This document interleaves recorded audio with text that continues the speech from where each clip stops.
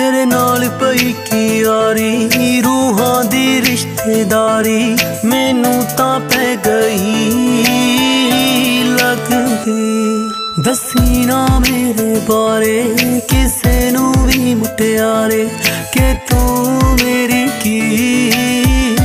ਲੱਗਦੀ ਦੱਸੀ ਨਾ ਮੇਰੇ ਬਾਰੇ, ਕਿਸੇ ਨੂੰ ਵੀ ਮੁਟਿਆਰੇ ਕਿ ਤੂੰ good.